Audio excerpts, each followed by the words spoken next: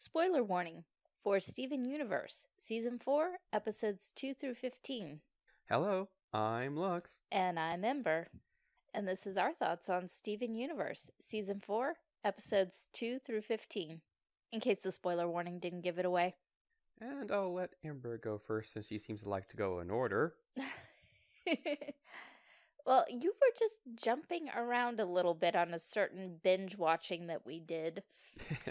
but the Steven universe, because the episodes are so short, I think it's a little easier to go sequential. Also, they work well as standalone episodes. But we had some really heavy topics this season yes, we kind of went a little over last time because we actually covered the season four premiere in the last episode, so. Yeah, we didn't realize it was the season four premiere. I thought we were actually a couple episodes into season four, but after reading many websites, I realized, oh, that was the first episode of season four. Well, that's a good way to start a season. Yeah. So instead, you know, we got to have some discussion about fusions and the difficulties and dealing with um, things that one has done that may be regrettable, and mindfulness, which was funny in a coincidental sort of way because Lux and I actually went to a mindfulness panel relatively recently.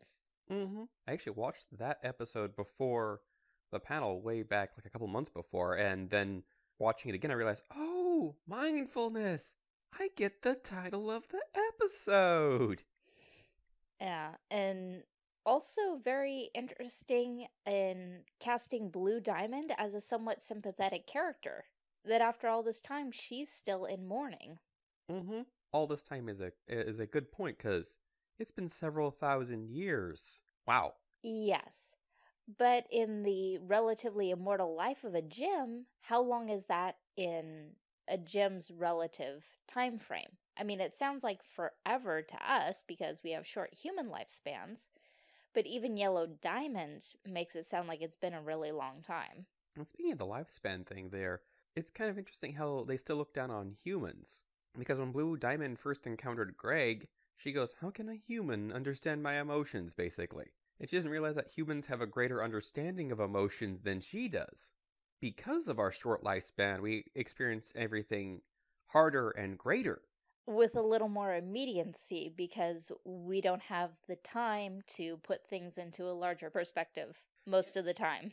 Yeah, we just don't have the time to build up the wisdom. Kind of makes you remember that old phrase how youth is wasted on the young. Oh, yeah. If I could go back and tell myself a few things, oh my goodness. Mm-hmm. As usual, they do a good job of hiding heavy adult topics that kids should learn and know about inside of the show, like mindfulness and death and how choosing works. yes, I know we kind of jumped towards the end because I was going through a run through of all of the amazingly diverse topics that were covered in this season so far because there's just so much and we're getting more world building you know that whole flashback with buddy's journal. Mm-hmm. I like how they're like wouldn't the Gems look different? Oh yeah. And their imagination puts them all in historical costumes like yes the Gems would have looked different but not in that way and they would have looked different because their appearance has evolved over time. Mm-hmm. if you compare what garnet's first version of the fusion looked like when they first accidentally fused and then when they fused again on Earth and then ran into Rose and Pearl. Compare that to what their fusion looks like when we're first introduced to them in the series. Mm-hmm. And then it changes later because of the damage they received and reformed. Yeah, so even though they repeatedly say that gems don't really change, over a long period of time, we do see alterations not only in their mental state and understanding, but in their actual physical characteristics. Mm-hmm. Like how much Peridot has changed just in the short time she's been on Earth. She doesn't look like she's changed that much, but her hair has changed. Her attitude has changed. She's much happier than she was when we first met her. Yes, and she and Lapis are getting along much better and on heavy adult topics for the season. Family, oh my god, family. Yeah. I love the uncle, except for when we first meet him because he was a bit of an ass. Well, if you came back and found squatters on your property, how would you feel? Well, he was also very racist Yes. and very um uh it's not racist because he was also against hippies and Narrow minded. yes, very narrow-minded. There's a better term. Yeah, he was very narrow-minded and he changed over time. Also, we just put every big celebration. We're all getting married. Uh sorry about your marriage. yeah, that that actually could be a good phrase. Sorry about your marriage. mhm. I love how they even had a tombstone. Also, how did they pay for all that? I'm not sure I want to know Also, apparently there was a grease fire somewhere. that Amethyst started and put out, out. which is nice, taking responsibility for your actions. Mm-hmm. and not just the complicated family issues um that we had and not just that one episode with Uncle Andy, but when we had him come back later and the whole thing with the flashback to when Steven was a baby and the whole thing about going to Korea to find the Pelican. Mm-hmm. Because that had a lot of complicated family stuff because the Gems are his family, both Greg and Steven. But also, the element of change and working with accepting change is a recurring theme in the series because the Gems have trouble dealing with change because they think of themselves as unchanging Mm-hmm. just because changes come over such a long period of time for them. Also, I think there's more change if you're not on a homeworld controlled planet where everything is dictated and your place is set.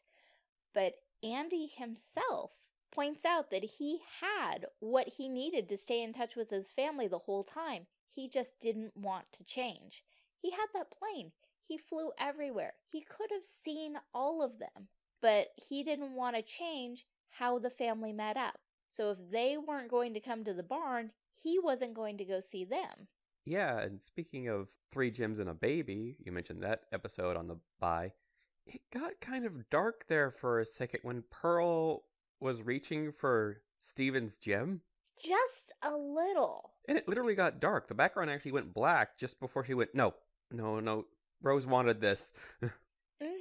Because I'm pretty sure that would have killed Steven. mm-hmm. You know, regardless of him being a human gem hybrid, just ripping out something that is part of the body in the abdominal region, yeah, that's that sounds pretty fatal. Though Mhm. I love Garnet's theory that Steven was actually a fusion. If you notice, they all had their own theories based on their own point of view. Like Garnet's fusion, her point of view. Pearl's, her point of view was like that gem is her because that's how gems work. She can't reform because it's surrounded by something else. So I'll just remove that something else. Yeah, to Pearl, it was like the equivalent of the gem being bubbled. It's like, well, if we can just get rid of the bubble, she can come back. And Amethyst was just, you know, because she's so new and still learning stuff, she just, mm, can't she just change shape? Yeah, she, she can shift, right? Because it's a gem. Uh, that's Rose, and Rose is a gem, and gems shift. mm-hmm. But now that we kind of hit on the heavy topics, let's rewind a little bit. And the return of Sardonyx, and oh my goodness, fusions can have their own rooms. Which kind of makes sense because Garnet has her own room, and we know now that Garnet is a fusion. But wow, Sardonyx, way to steal the show. hmm quite literally. And because of this, we learn that she actually is a fourth wall character. She can see outside of her own dimension. She knows the whole thing's a show, which is kind of interesting. And it makes sense because of Pearl and Sapphire, those two minds getting together, plus Ruby, it all kind of makes sense that they'd be able to see outside of their own world. But it's just the fusion itself was so interesting that they brought Sardonyx in because Garnet, the huge grin and excitement when Steven and Amethyst showed off Smoky Quartz, and Pearl's absolute no, no, no, no, no, no, no, no, no, no, this is not happening. But when they get together as Sardonyx, they're equally thrilled. Mm-hmm. Well, I picked it up as Pearl being thrilled too and surprised that how did this happen?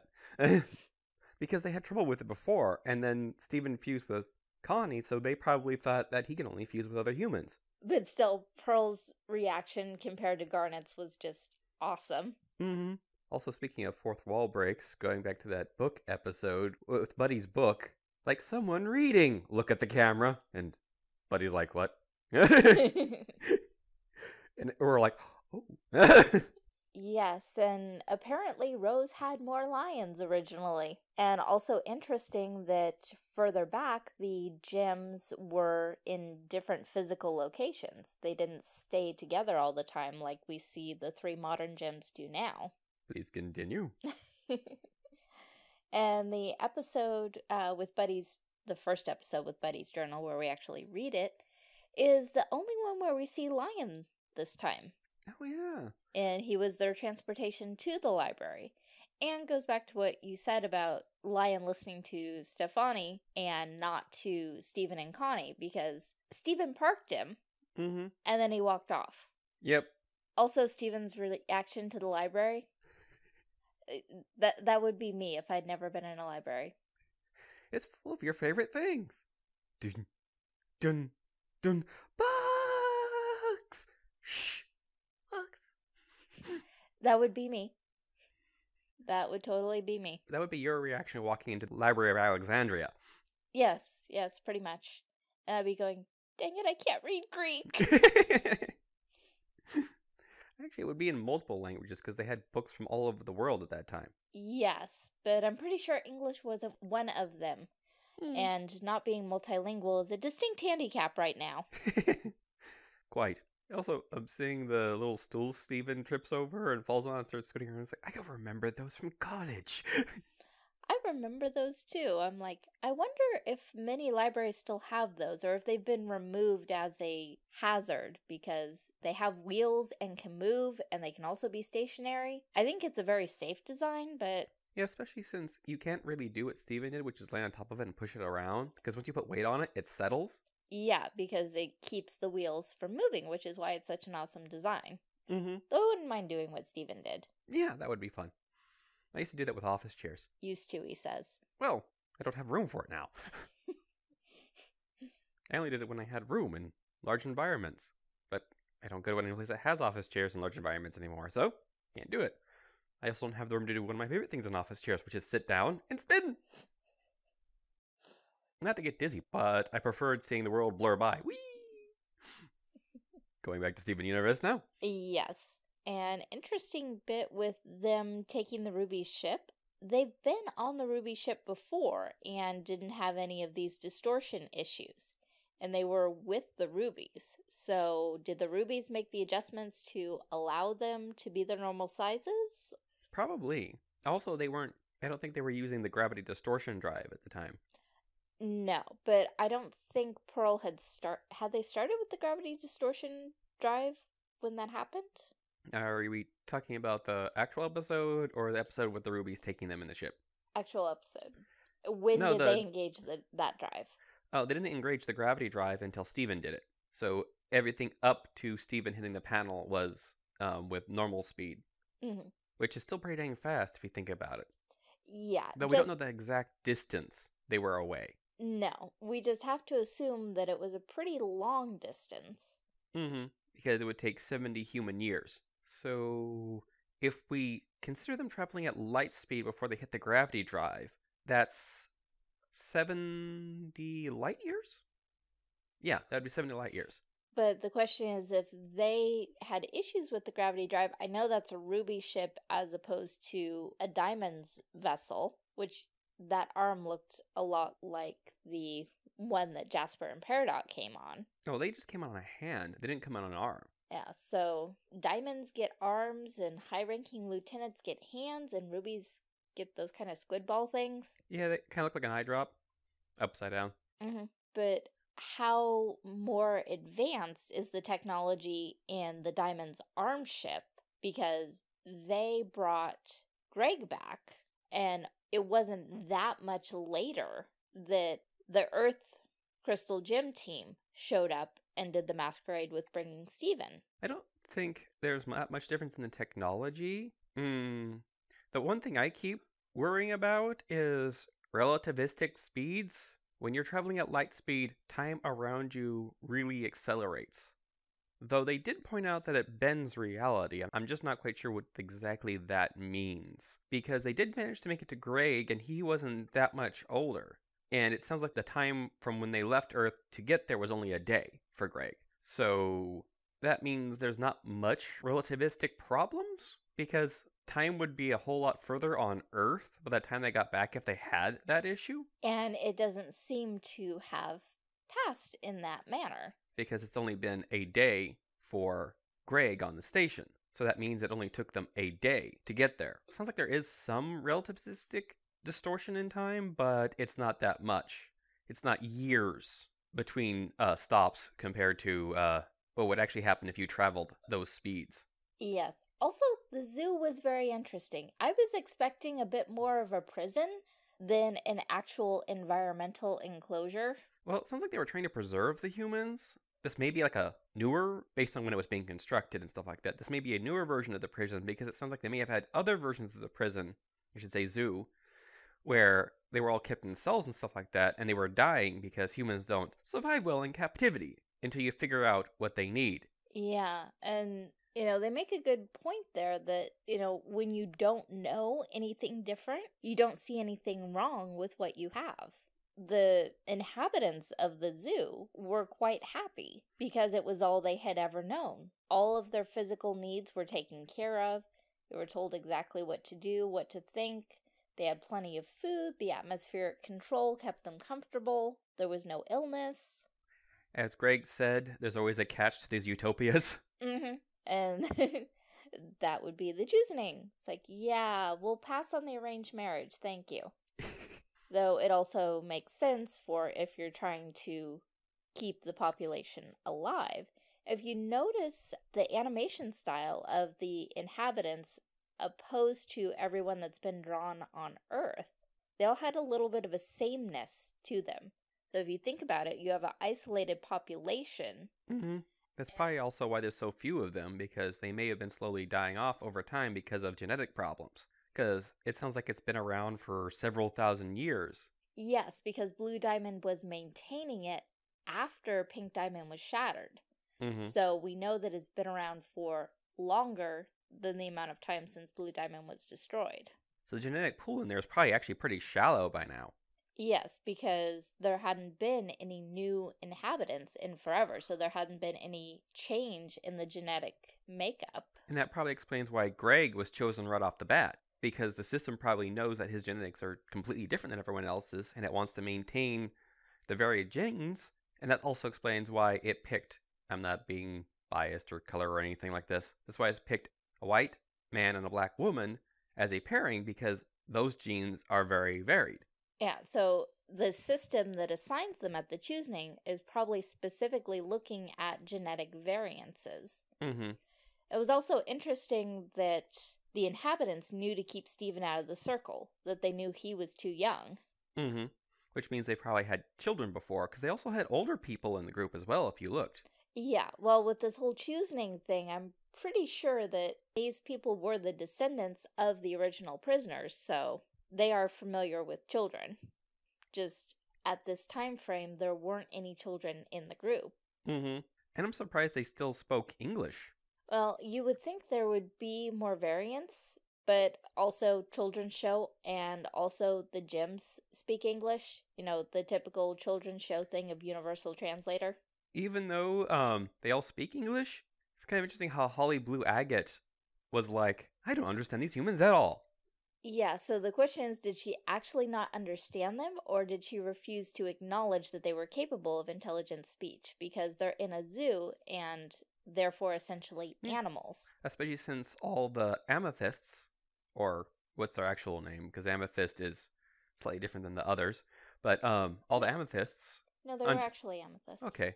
They actually understood Greg and Steven and everyone else just fine. Yeah, so I think it's more of Holly Blue Agate trying to be poised and above and not acknowledging someone that she considers beneath her. Mm -hmm. So it's more of that Gems looking down on humans that we traditionally see. Because if you think about it, Blue Diamond had no trouble understanding Greg. Mm. They were able to have a full conversation, a very poignant conversation. Mm-hmm. Ah, other things in that episode.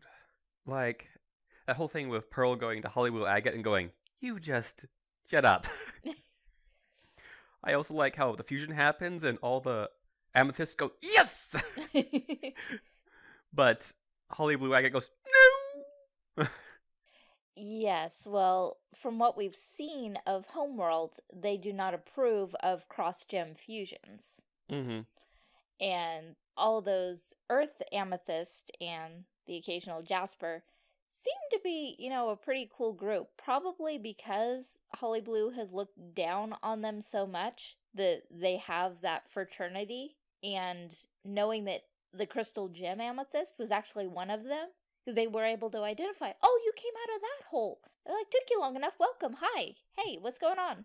Yep. Oh, those are your friends? Okay, yeah, cool. We'll help you out. Because why would they help Holly Blue? Because Holly Blue does nothing but be mean to them. I like the yeah, and she's still celebrating because she's no longer the shortest one. Yay! uh, I also love the yeah. We need to hurt each other. Punch me, Dad. I can't punch you. Okay, I guess I'll take the hint. Tap. I can take it. Whack. also, it didn't work. Should I try again? No, there won't be anything left to rescue. I was like, watch out for the brat! Little too late. Yeah, and you have to wonder what else is going to happen at that zoo now that the humans have been introduced to the idea of choice. Are they going to start rebelling? Because up until Greg and Steven came, they were happy. So technically, did they need rescuing? Because the crystal gems didn't try to take any of the other humans, mm -hmm. only Greg and Steven. Though, speaking of that, uh, Sapphire accidentally introduced the idea of gathering more humans. Yes. And you brought the point that that may start happening in the next couple episodes. Yes, because it gave an opening, and that gives more reasons for Homeworld gems to come to Earth, because the cluster hasn't activated yet. And it probably won't activate. Yes, but the Homeworld gems don't know that. Mm-hmm. Or it won't activate in the way they think it will. Yes, it's not going to activate as the super weapon that Yellow Diamond wants, because those shards, you know, thanks to their interaction with Steven, now have a different mindset. Mm -hmm. And they're not going to want to destroy the Earth, and they may even help against the homeworld gems. But since the cluster hasn't activated, there's still a window of time for the diamonds to take more humans.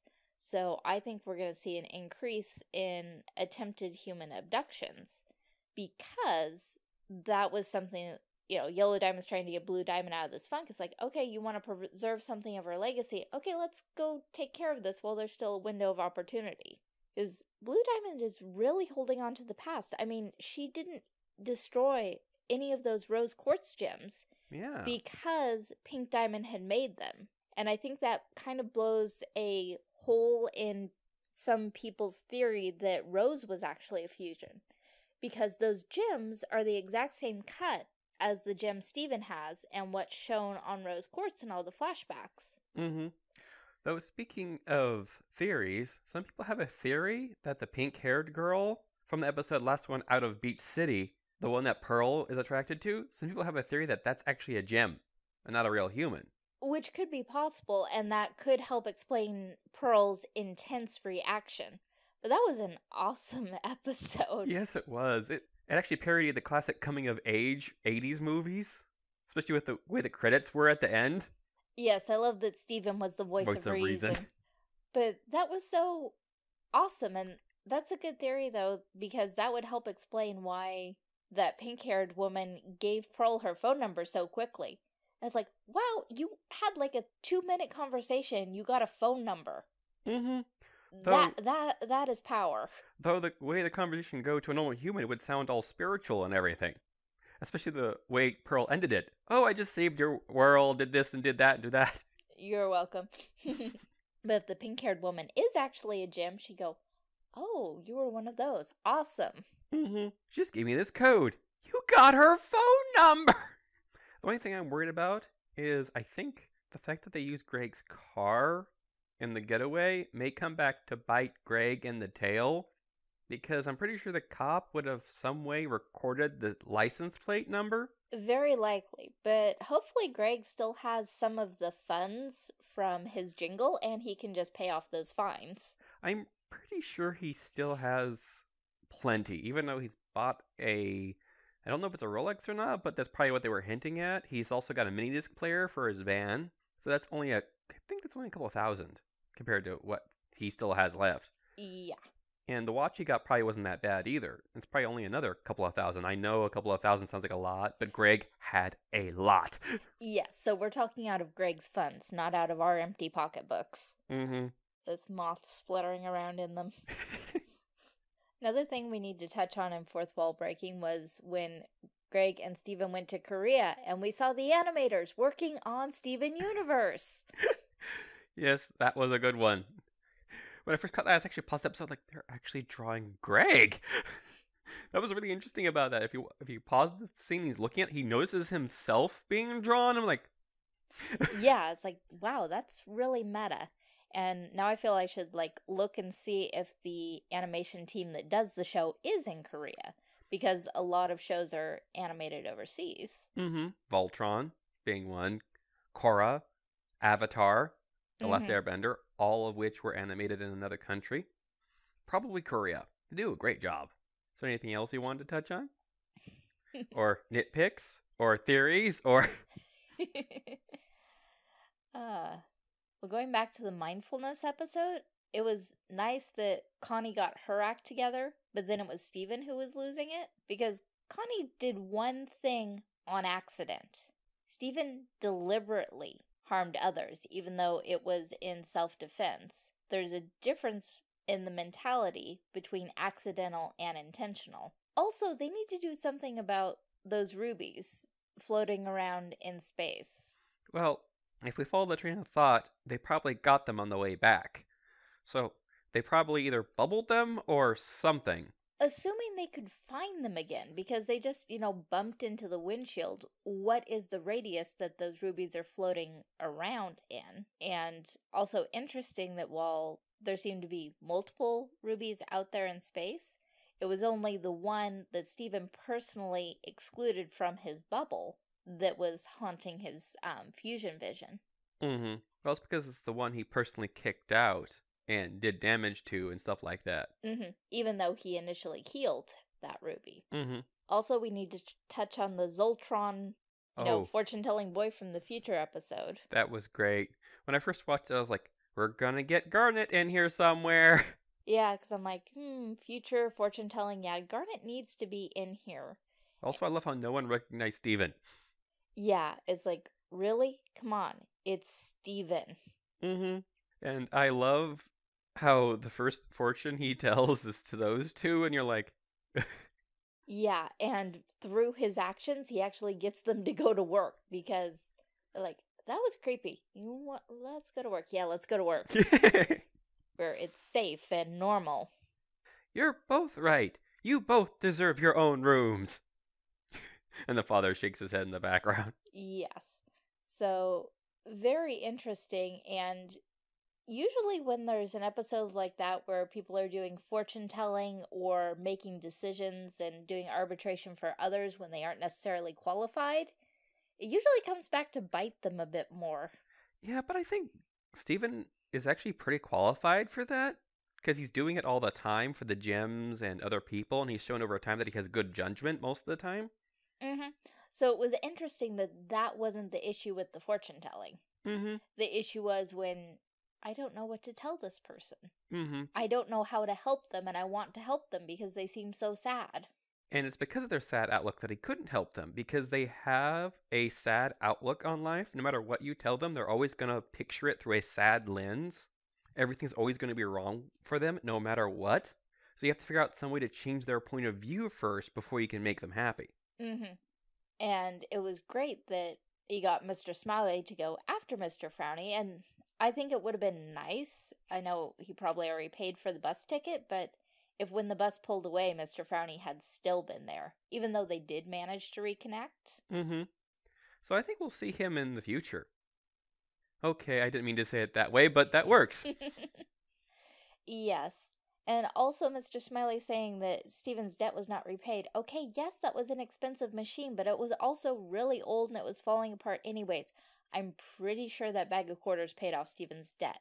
Because if you depreciate the value of the machine over time and the fact that it's been in storage, it's a fully depreciated item. Says the accountant. yeah. I mean, the way he said how old it was, okay, that's Because he wasn't, when he went to plug it in, he wasn't even sure it was still going to work. Mm-hmm. And to get technical for a moment, under MACRS, it would have been fully depreciated within just a couple of years, which is your tax one. But just even on standard depreciation, which is split out evenly over the lifespan, if he's not sure it's going to work anymore, the lifespan is over. The item's fully depreciated. He's taken all the expenses for it. And that was your accountant's lesson for the day. so, yeah. But Mr. Smiley is a cheat. yes. And if he can keep Steven working and getting a bag of quarters like that every day, he's obviously going to go for it. Mm-hmm. The real question is, is how long will that actually work? How long will people keep coming back to Steven for answers like that? Depends on how addicted they get. Remember Katara in the Mhm. fortune teller episode from Avatar The Last Airbender? But I hate whatever fruit that was. Then have the mango. Yeah, of getting so dependent that can no longer make independent decisions. mm-hmm. I always forget how strong of a bender Aang is. Oh. oh, but back to Steven Universe. yeah, and you know, another slightly creepy slash dark thing going back to the family episode with Uncle Andy, when Steven makes that living pumpkin and then does that carving right in front of him and doesn't even think about it and understand why the pumpkin dog is freaked out. Like, dude, from that pumpkin dog's POV, you just murdered and mutilated that pumpkin. Of course it's freaked out. Oh, he I think he figures that out right at the end when he looks at himself and goes, "Oh."